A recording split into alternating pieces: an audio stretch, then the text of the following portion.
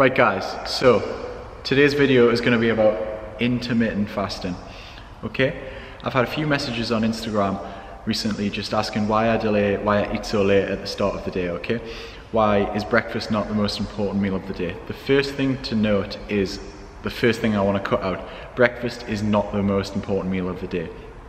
Cereal companies like Kellogg's and all the Frosties and Lucky Charms and all that, they create breakfast as the meal of the day because they want to sell products, okay? It's absolute bollocks, okay? So that's the first thing to note. Now, what is intermittent fasting? Intermittent fasting is basically delaying your first meal to a certain point. So this could be anywhere from 10 o'clock, 11 o'clock, 12 o'clock, whatever you normally eat your first meal of the day, whatever time that is, you are just basically delaying that until later on, okay?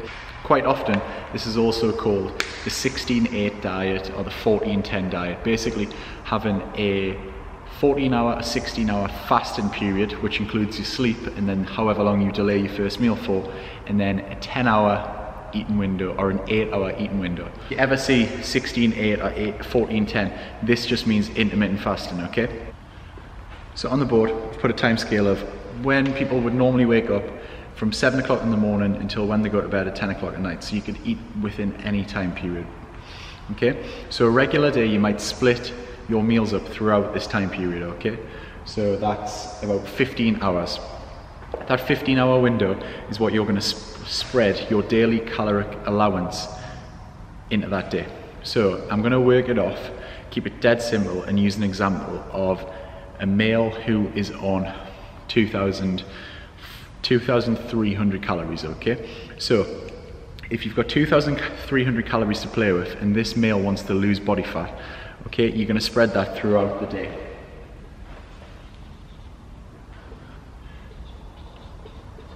So those 2,300 calories has to be spread out all the way from a 15 hour window, okay? So because that's quite low for most males when they're dieting, they're probably gonna find that hard and they're probably gonna have to eat smaller, smaller meals, and 2,300 calories doesn't go quite far on a 15 hour window. However, if you use intermittent fasting, delaying that first meal, your eating window is going to be reduced down to 10 hours. So from say 12 p.m. here, you could eat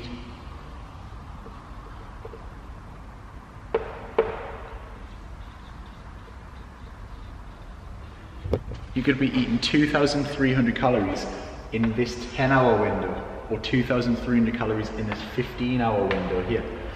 So if you can manage and you can cope to delay your first meal and you don't mind like if you're not a big eater in the morning this could be very beneficial for fat loss because if you think about it all I'm asking you to do is Instead of eating at 7 or 8 o'clock in the morning like you normally would, I'm just asking you to delay it a little bit further to maybe 11, 12 o'clock. So that window of eating period between 12 and 10 o'clock is a lot smaller. It reduces the time by 5 hours. And what you can do with this is because you reduce that window, you're probably going to feel like you're not dieting or in a calorie deficit because you're going to eat a lot of food within that 10 hour window. And psychologically, you can have bigger, denser meals, which will be more calorie dense because you've got a smaller time period to fit it in by. So you're probably going to feel a lot better about that. So that is pretty much the basics of intermittent fasting. You just delay your first meal here, knocking off this five hour period and bringing it from a 10 hour window instead of a 15, 16 hour window. Okay, as who is intermittent fasting for?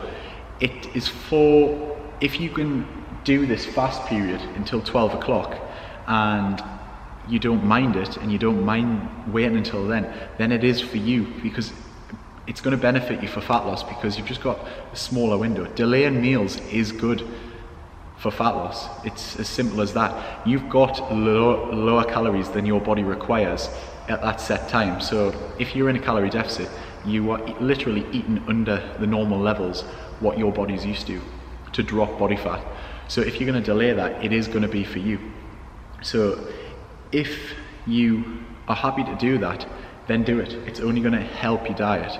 Saying that, if you train in the morning and you feel like your sessions are very poor because of that, and you're feeling very lethargic and you need more fuel, then it's probably not best that you're going to do that.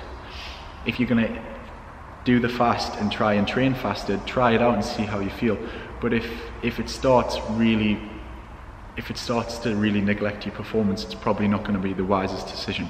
But if someone's training at five o'clock at night here, they're still going to be within their eating window when they're training. So if people are training, like my most of my clients will train four, five, six, seven, eight o'clock at night. So that's still fine. What's the point in them? What's the need for them to eat so early? They could use intermittent fasting to help, basically help the, help structure their day for fat loss and benefit them. Um, a couple of tips that I would give for intermittent fasting because I have used this before. Nowadays I train quite early in the morning so I don't really tend to use it as much but on certain days when I can use it I will just do the odd day of intermittent fasting. But um, in times before like last year I was training like 4 5 o'clock at night so I would use it and fast until 12 1 o'clock every single day because it just helped me psychologically because I'm a nighttime eater it just helped me adhere to my diet better. It kept me satisfied eating more food later at night rather than having those meals when I'm not even that hungry in the morning. Okay, tips for intermittent fasting would be that drink drink a lot of water. You want to fill up on water, especially during that delay in that first meal, and when you're still in that fasted state. um, black coffee helps in the fasted state. It keeps you a little bit satisfied um, and sparkling water is also a good one. If you think about it, all I'm asking you to do, you're in a fasted state from 10 o'clock at night, uh, half 10, whenever you go to bed until you wake up, you're in a fasted state anyway. There is no problem with making that fasted state when you're sleeping a little bit longer to help your fat loss and aid your fat loss. None whatsoever. There's no metabolic furnace or fire or all this shit that you see on Instagram saying like you need to start your metabolism. Breakfast is the most most important meal of the day because it spikes your metabolism. Your body doesn't adapt that quickly and it, there's no metabolic furnace, okay? There is none of that sort of metabolic fire and all of that crap that old, the old mentality that people used to tell you. Okay, there's no issue with doing this and your metabolism's not going to stop your metabolism's always going to work continuously, okay? Especially if you're resistance training, your body's always in an anabolic state anyway, okay?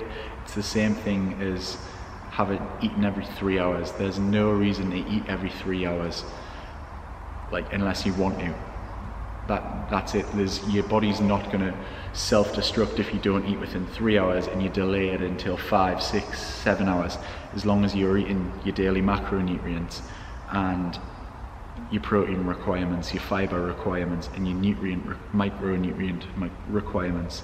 Like your body's not going to self-destruct. Nutrient timing and things like that are the very, very last minuscule one, 0.5% once you've got everything else right intermittent fasting is an option and it will benefit you if you're on a fat loss diet if you feel like it helps you stick to your diet for longer. I think that's all for the video and I think I've pretty much covered intermittent fasting.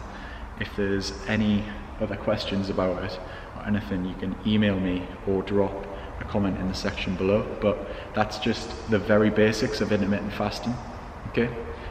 At the end of the day like I've said time and time again calories in versus calories out okay? How you distribute it and how you play about with it, as long as you're hitting your macros, it doesn't really matter.